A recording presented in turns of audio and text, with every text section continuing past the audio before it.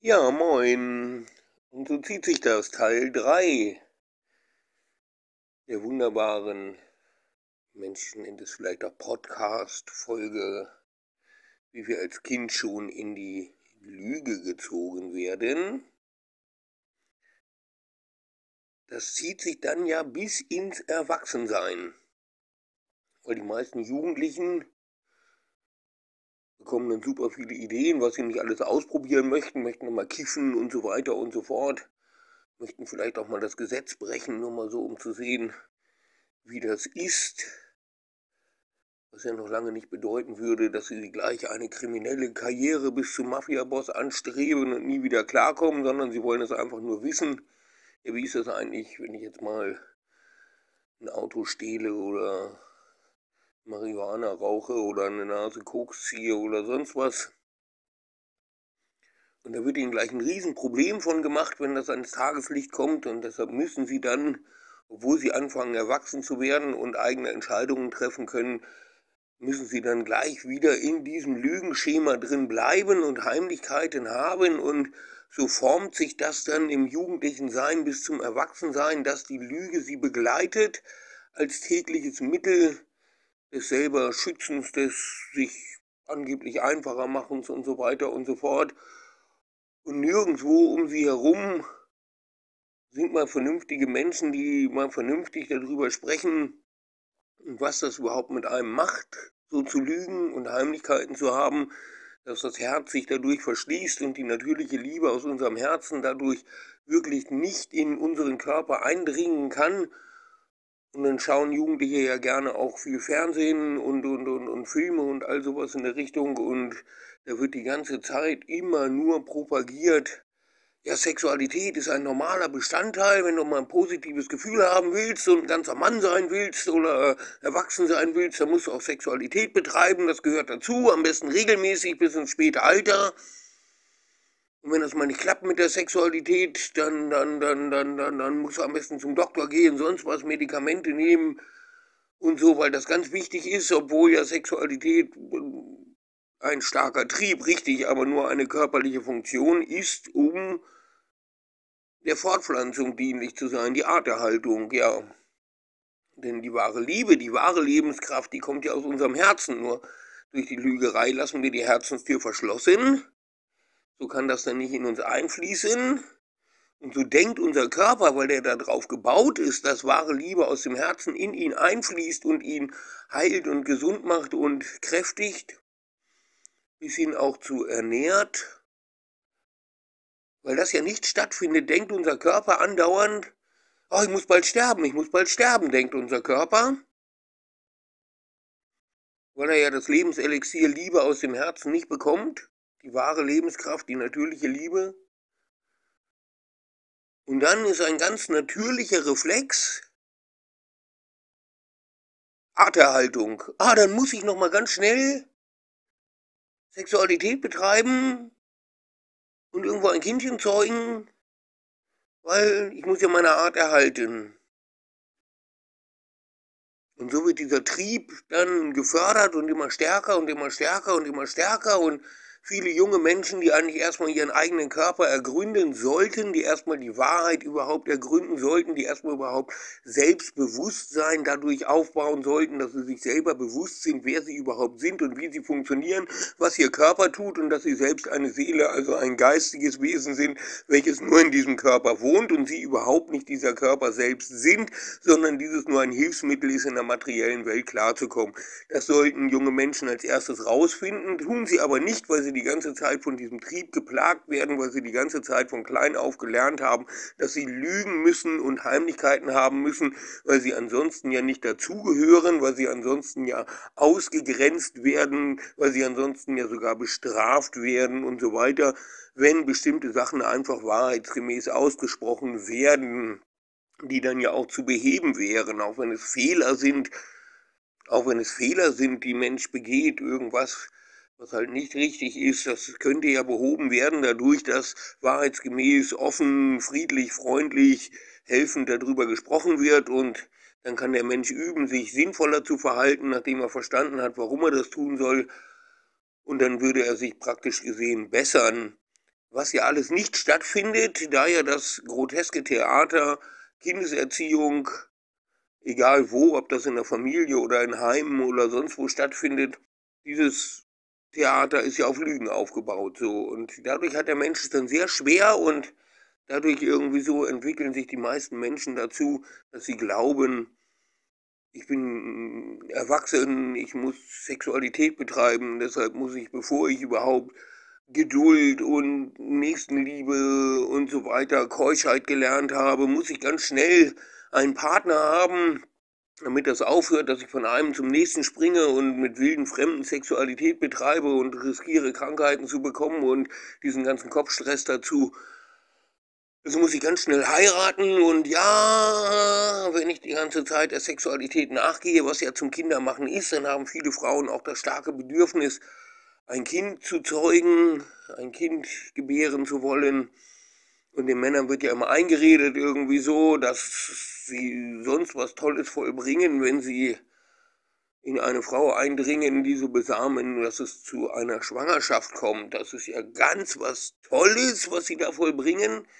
Ich kann da wirklich nur sagen, irgendwie so, ähm, äh, Eltern werden ist nicht schwer, Eltern sein dagegen sehr. Doch es wird dann immer nur das Erste und das wird als was ganz Tolles irgendwie so und Eltern sein, na ja, ist ja normal, dass unsere Kinder rebellisch sind, dass unsere Kinder Stress machen, dass unsere Kinder äh, Heimlichkeiten haben vor uns und so weiter und so fort, ist ja normal. Und wenn das dann zu viel wird, dann wird das Kind ganz oft irgendwie abgestempelt und weggeschoben, weil ja die Therapie, die Veränderung zum Leben fehlt ja den Eltern selbst auch, was sie ja machen müssten, wenn sie jugendlich bis jung erwachsen sind, dann ist ja die Zeit dazu, Therapie zu machen, um das Elternhaus abschütteln zu können, um endlich in ein wahres Leben zu kommen, welches dann auf Wahrheit, Offenheit, Nächstenliebe, Liebe in sich selbst, Zufriedenheit, Gesundheit basiert. Das wird ja alles nicht getan. Es wird ja immer eingeredet, eingeredet, eingeredet, wie wichtig das ist, die Eltern, die Familie, die Eltern, die Familie, wie wichtig, wie wichtig, wie wichtig. Und deshalb irgendwie so reagieren ganz viele auch ganz allergisch darauf, wenn dieses Thema auf den Tisch kommt, weil meine Mutter, mein Daddy, da darf niemand nur ein schlechtes Wort sagen. Dann, ja, dann dreh ich sofort durch, wenn jemand nur ein schlechtes Wort darüber sagt, weil ich ja selber gar nicht bereit bin, mich zu verändern. Und dann, wenn das auf den Tisch kommen würde, dass ich von meinen Eltern so viel Schlechtigkeiten gelernt habe, dass ich Lüge und Heimlichkeiten habe, ähm, ja, dann wäre ich ja in dem Zugzwang, mich auch verändern zu müssen. Und so sind die Eltern für viele ein heiliges Dingelchen, was nicht angesprochen werden darf. Und das zieht sich dann weiter hinein, bis hin, ja, wenn wir dann zusammensitzen mit anderen, also das, was wir nicht wollen, ist über Politik zu sprechen. Ansonsten könnten wir herausfinden, dass die Politik diese Verhaltensweisen fördert, weil ja die Politiker ebenfalls da drin aufgewachsen sind und ebenfalls keine Therapie gemacht haben und ebenfalls aus Lügen und Heimlichkeiten bestehen und dann gibt es so einige Themen. Ja, über Geld dürfen wir dann auch nicht sprechen, weil wir ja die ganze Zeit irgendwie gierig sind und missgünstig sind und so weiter und so fort. Und wenn dann irgendwer mitbekommen würde, ich hätte schon oh, 5000 Euro gespart, der könnte ja zu mir ankommen und könnte mich anbetteln oder sonst was in der Richtung. Also sprechen wir auch über Geld nicht. Über Politik sprechen wir nicht, über Religion sprechen wir schon gar nicht. Nein, das tun wir auch nicht. Das geht ja nicht, weil sonst könnten wir ja erfahren, dass die Religiösen genauso untherapiert sind wie die Politiker und die breite Volksmasse und deshalb an einen Gott glauben, der strafen würde und sonst irgendwas, weil wir das ja selber erlebt haben, dass unser leiblicher Vater uns ja auch gestraft hat. Ist ja ganz normal, das ist ja Liebe. Viele Eltern sagen das dann auch, ich hab dich jetzt aus Liebe geschlagen. Ah ja, ein erwachsener Mann schlägt ein wehrloses Kind aus Liebe. Das ist seine Liebe, einen Wehrlosen mit Gewalt zu bedrängen, zu traumatisieren, zu schlagen, zu züchtigen. Das ist Liebe. Und solche Einstellungen haben ja auch die Religiösen. Man schaue in den Islam zum Beispiel irgendwie so, da geht das auch ganz hart ab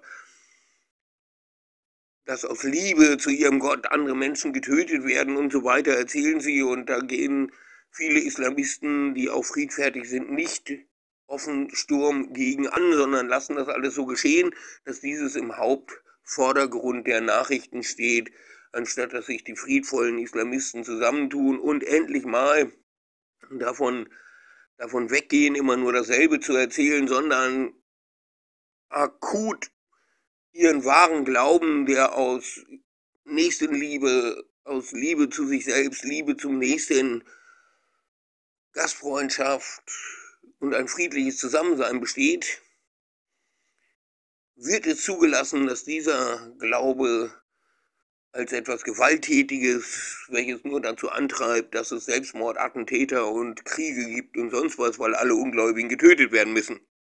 Was ja auch totaler Blödsinn ist, aber das tun sie. Das christliche Abendland nennt sich dann auf jeden Fall Abendland, weil morgens wird ja die Sonne aufgehen, die Gnadensonne, welche Gott die Liebe ist, irgendwie so geht hier ja nicht auf. Es ist ja ein christliches Abendland. Hier ist die Sonne ja schon untergegangen, weil wir haben ja Militärpastoren und so weiter und so fort. Atombomben werden vom Papst gesegnet und die Kirche ist bei jeder politischen, wirtschaftlichen Schweinerei in irgendeiner Weise mit involviert. Lügt und Heimlichkeiten und so weiter ist bei der Kirche auch ganz normal. Katholische Kirche sind da brutal schlimm, evangelische Kirche nicht so viel besser. Und wenn dann irgendwer doch tatsächlich mal diese ganzen Schlechtigkeiten irgendwie aufdeckt, der wird dann sofort exkommuniziert, nennt sich das dann, also rausgeworfen aus der Kirche. So einen wollen wir hier nicht. Wir sind hier ein Club von Geheimnistouren und Lügnern und sonst was. Weil wir wissen genau, wir brechen Gottes Gebote damit. Du sollst nicht falsch Zeugnis geben, also du sollst nicht lügen, heißt das Gebot. Und wer das Gebot nicht hält, hat auch mit Jesus nicht so viel zu tun. Ist dann völlig egal, dann gibt es massenweise freichristliche Gemeinden, neuapostolische Adventisten, Charismaten, sonst was in der Richtung, die alle in irgendeiner Weise keine Therapie gemacht haben und das selber noch gar nicht erkannt haben, in was für einem Lügenmoloch sie groß geworden sind und dann natürlich davon ausgehen irgendwie so, dass der Gott diesen Lügenmoloch unterstützt, weil ja im Alten Testament in dieser schrecklichen Form der Gebote, wo der eifersüchtige Gott beschrieben wird, Eifersucht ist eine Leidenschaft, die mit Eifer sucht, was Leidenschaft und Gott der Liebe irgendwie sucht mit Eifer, dass die Menschen die Liebe üben. Ja, richtig, ist also ein eifernder Gott irgendwie so. Aber dieser strafende Gott, der ja die Kinder für die Sünden der Väter auf vier Generationen bestraft, da glauben sie halt dran, weil sie selber auch irgendwie so bestraft wurden von ihren materiellen Vätern und Müttern und Erziehern und sonst was in der Richtung. Ja, da glauben sie dran und da halten sie auch dran fest, weil sie selber nicht bereit sind, aus der Lüge auszusteigen, weil es für sie überhaupt gar kein Problem ist, irgendwas zu verschweigen, totzuschweigen, im Notfall auch zu lügen und sonst wie, wenn sie in geistige Bedrängnis kommen und ihre Pünktchen, Pünktchen Lügentaten offenbar werden sollen. Und so zieht sich das durch die ganze Gesellschaft überall hin. Das haben wir jetzt in den letzten zwei Jahren intensiv erlebt was jetzt irgendwie nennt sich das nicht Internetzensur, sondern es nennt sich Faktencheck. Dass Facebook also unser großer, großer Lehrmeister ist, der uns lehrt irgendwie so, was jetzt richtig und was jetzt falsch ist, über irgendwelche Virenkrankheiten und so weiter und so fort. Und es wird sofort radikal immer darauf hingewiesen, sie bekommen innerhalb von Sekunden raus irgendwie, ob irgendjemand über eine, über eine Krankheit spricht, aber sie sind nicht in der Lage, irgendwie Kinderpornografie im Internet zu finden. Das geht nicht. Sowas geht nicht. Oder Waffenhändler oder, oder Harddrogenhändler oder so weiter und so fort. Das ist nicht möglich zu finden, so, aber es ist sofort zu finden, wenn jemand etwas über eine Krankheit, wo die Politiker die deutsche Wirtschaft relativ ruiniert haben, das Land super mehr verschuldet haben dafür, viele Bürger in den finanziellen, geistigen Ruin getrieben haben, mit Maßnahmen, die völlig, völlig überzogen waren. Und hier schon mal ein bisschen Diktatur geübt wurde, Ausgangssperren verhängt wurden, Kontaktsperren verhängt wurden, und all sowas wurde in den letzten zwei Jahren schon mal so richtig Faschismus pur geübt. Alle verpflichtet werden, eine Maske zu tragen, sodass wir in zwei, drei Jahren sehen, wie viele neue Lungenkrankheiten wir dann haben, weil alle nur noch mit dieser Maske so lange durch die Gegend gerannt sind und nirgendwo anders mehr. Und da das ja mit so einer blauen OP-Maske dann auch nicht geht, oder zu Anfang war es ja auch genügend, ein Halstuch zu tragen, das geht ja alles nicht. Nein, wir müssen diese heftigen, dicken, fetten, weißen Monstermasken aufsetzen, damit das mit den Lungenkrankheiten auch munter vorangeht, weil in unserem, wie nennt sich das noch gleich, äh, Hochtechnologiestandort Deutschland ist ja immerhin die Pharmaindustrie so stark vertreten und die brauchen ja ein bisschen Geld, nicht? Und dann sind ja auch ganz viele deutsche Politiker in der Pharmaindustrie tätig oder äh, ihre Verwandten, Ehefrauen, sonst irgendwas in der Richtung sind in der Pharmaindustrie tätig und verdienen sich alle dumm und dämlich am Maskenverkaufen, am PCR-Test verkaufen, am Desinfektionsmittel verkaufen und sonst irgendwas. Also ich habe dann zwischendurch schon mal die Menschen gefragt, wie ist das, dürfen wir eigentlich schon wieder duschen oder ist immer noch nur noch immer Händewaschen angesagt? Also bis ins groteske, lächerliche getrieben und wenn wir dann mit irgendwem sprechen, dann ja, man weiß ja gar nicht so, was richtig ist und so und ah ja, ich weiß ja irgendwie, ja, wird ja auch seit 70 Jahren gesagt, mein Fernseher lügt, die Zeitungen lügen, die Politiker lügen die Wirtschaft lügt, ja, richtig, aber wenn die das dann sagen, dann glaube ich das doch und dann, dann halte ich mich da auch dran, ja, richtig. Und außerdem sind das ja alles dann auch Verschwörungstheorien, wenn da irgendwas gesagt wird, irgendwie so, was mit der Meinung der Politiker nicht übereinkommt. Ja, aber das stimmt ja auch wieder nicht, weil wenn wir dann direkt auf die Regierungsseiten gehen, direkt auf die Seiten des Robert Koch Institutes oder das, das WHO oder sonst irgendwas in der Richtung, dann haben wir auch diese ganzen, ganzen bösen Verschwörungstheorien zwischendurch direkt auf ihren Seiten gelesen, dass Masken eigentlich überhaupt gar nicht so viel taugen, dass der PCR-Test total ungenau ist und überhaupt gar nicht tauglich dafür ist, irgendwie so festzustellen, großartig, ob ein Mensch jetzt erkrankt ist oder nicht. Wird alles auch auf den ihren Internetseiten von der Bundesregierung, vom Robert Koch Institut und so wird das hin und wieder auch veröffentlicht. Ja, aber wenn die das dann sagen, das wäre ja dann wieder, ach nee, dann wollen wir das auch nicht glauben. So machen wir uns dann selber zu Lügnern. Schon wieder.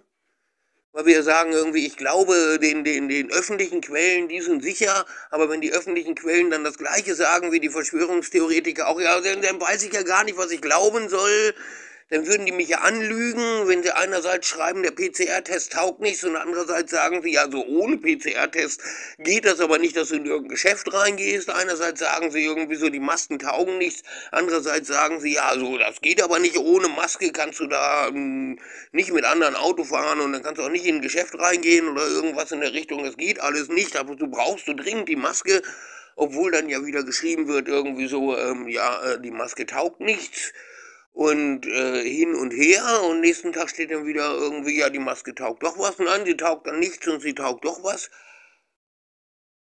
Da bin ich aber nicht bereit, mir mein eigenes Bild zu machen und mal alle Quellen zu nehmen, um alles miteinander abzugleichen und so weiter. Und da habe ich ja gar keine Zeit für, weil ich muss ja arbeiten gehen, arbeiten, arbeiten, arbeiten. Weil meinen Kindern soll es ja mal besser gehen wie mir. Ja, wieso soll es meinen Kindern mal besser gehen wie mir? Ich lebe hier in Deutschland, ich habe hier so viel Geld. Wir haben hier alles. Wir haben hier sogar zu Weihnachten frische Erdbeeren im Supermarkt.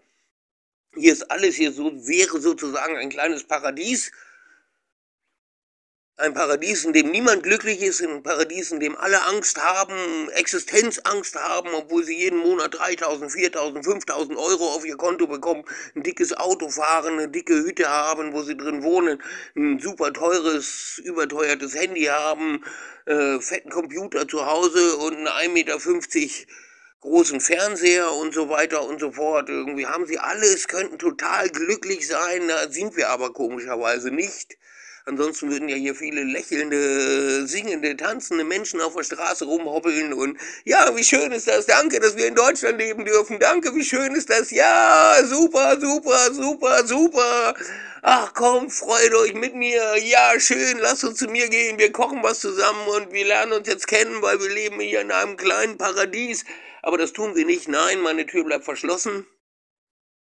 Da kommt keiner rein, die sind ja alle merkwürdig, nicht? Sonst, sonst könnten die ja rausfinden irgendwie so, dass ich immer noch nicht aufgehört habe zu lügen, obwohl ich überhaupt gar nicht lügen müsste. Ja, so zieht sich das ein bisschen zu Erwachsensein, so geht das dann weiter. Und das, Das ist halt der ideale Nährboden für eine faschistoide Gesellschaft. Für Faschismus. Genau dafür. Und viele sind dann auch Patrioten. Wer als Patriot losgeht, wird als Faschist ankommen. Das ist halt so. Ja, aber das ist halt alles so eine Sache irgendwie so. Da möchten wir auch nicht drüber nachdenken, weil sonst müssten wir da ja tiefer gehen und müssten in unserem eigenen Sein schauen. Ist ja ein bisschen blöd, wenn ich nur mit dem Finger auf andere zeige und sage, der lügt, obwohl ich selber lüge. Also ist das schon in Ordnung, dass der lügt. Das toleriere ich, weil ich möchte ja gerne, dass toleriert wird, dass ich lüge. Und mit der Lüge fängt alles an. Jedes Unheil, jedes Verbrechen, jedes Elende und auch jede Krankheit und so weiter, alles fängt mit der Lüge an. Ein Mensch, der vollkommen in der Wahrheit steht, welches ja auch möglich wäre und dadurch auch ein liebetätiger, liebefühlender Herzensmensch wäre, der nicht auf Sexualität baut, sondern auf sein Herz baut, aus allem dem, was aus seinem Herzen kommt, also natürliche Liebe, genau wie auch Gedanken der Wahrheit, ja, dieser Mensch hätte dann auch die Möglichkeit, irgendwie frei zu leben, ja.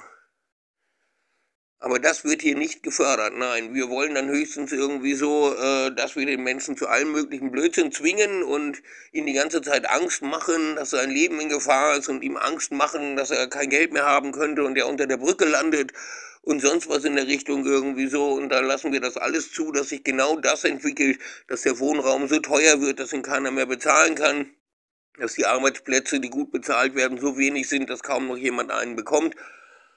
Und ansonsten wird hier für einen Hungerlohn gearbeitet, weil alles fängt mit der Lüge an. Alles fängt mit der Lüge an. Die Lüge, die Lüge, die Lüge, das ist genau der Grund und deshalb sollte uns das anspornen irgendwie. Ich möchte gerne erfahren, wie das ist mit der Wahrheit und ich möchte gerne vor allem erfahren und mitbekommen, wenn ich lüge und möchte das aus mir herausbekommen und mich selber korrigieren, welches dann mit anderen Menschen zusammen wunderbar funktionieren würde, total einfach wäre, irgendwie, weil sich Menschen dann gegenseitig erinnern, ja, schau mal, jetzt hast du nicht die Wahrheit gesagt, lass uns das sofort korrigieren in die Wahrheit und so weiter. Ja, yeah, und danach feiern und tanzen irgendwie so, dass die Wahrheit gesprochen wurde. Und es wäre so einfach, Therapie zu machen, und es wäre so eine super fette Party, die so nebenbei ablaufen könnte. Da könnte jeder nebenbei auch noch arbeiten gehen und all sowas machen irgendwie so und nebenbei immer mehr Menschen kennenlernen und immer mehr Menschen in die Wahrheit kommen. Und es wäre so wunderbar und wir würden hier wirklich in einem Paradies leben. Aber so leben wir halt irgendwie das Leben, was wir lieben, beschützt im Schützengraben ganz wichtig, weil, weil wir ja nur Verbraucher sind, wir sind ja nur Konsumenten und wir haben da gar keine Kontrolle anscheinend drüber, deshalb kaufen wir in Deutschland so viel Essen, dass wir das in jene Mülltonne reinstopfen, weil ja jeden Tag Kinder verhungern in dieser Welt, deshalb müssen wir Essen in die Mülltonne stopfen und weil wir dann so sauber sein wollen, schütten wir Unmengen von Waschpulver in die Waschmaschinen rein, dass die Waschmaschinen das schon gar nicht mehr aushalten und daran kaputt gehen an dem vielen Waschpulver. Aber das macht nichts, weil das läuft ja alles dann irgendwie auf irgendwelchen Wegen in unser Trinkwasser rein und das könnte uns ja selber reinigen. Früher war das ja auch gang und gäbe irgendwie so.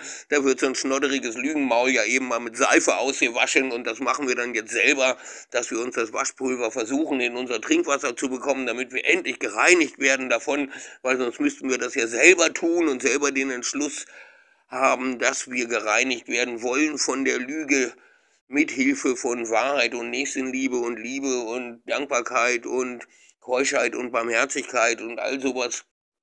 Aber das wäre nicht schön, das wäre ja so ein dämlicher Gutmensch.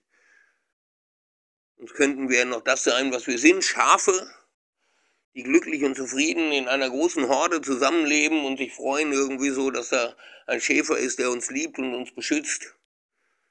Also was ist ja blöd, sowas wollen wir nicht, da reden wir auch ganz offen gegen an, vor allem auch ganz viele Verschwörungstheoretiker und sonst wie Kämpfer für unsere materialistische Freiheit reden da auch gegen an und sagen, das geht ja nicht, weil wir lügen so viel, dass wir überhaupt gar keinen Überblick mehr drüber haben, was jetzt wirklich ist. Dass halt die, die lügen, sind ja die Wölfe. Aber dann sagen ja auch viele von den Widerstandskämpfern gegen die Regierung und so weiter und so fort für Freiheit und so weiter, äh, sagen ja, ist ja in Ordnung zu lügen, aber sobald ich anfange zu lügen, ist das mit der Freiheit vorbei.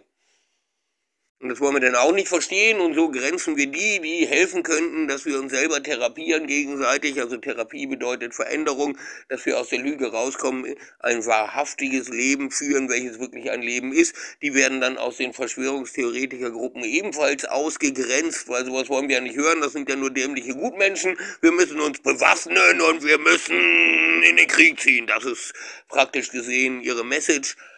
Weil so Menschen, die für Frieden und so weiter, nee, sowas brauchen wir ja auch nicht irgendwie so. Also mehr wie, dass wir uns irgendwo mal Ostern versammeln und eine Kerze anzünden, irgendwie haben wir für Frieden ja nicht übrig weil wir wollen ja schließlich billige Handys, wir wollen ja billige Computer, wir wollen ja schließlich alle Elektroautos haben und sonst was in der Richtung. Und dafür müssen wir halt mal ein paar Panzer und Düsenjäger losschicken, weil ansonsten kommen wir ja gar nicht an die Rohstoffe ran. Uns gehört ja nicht alles, aber das macht nichts. Willst du nicht mein Bruder sein, so schlage ich dir die Fresse ein. Haben wir gelernt irgendwie als Bündnispartner von Amerika, ist denen ihre Außenpolitik, deutsche Außenpolitik auch schon lange, denn Deutsche kauft deutsche Bananen. Das wurde ja schon lange gesagt irgendwie so.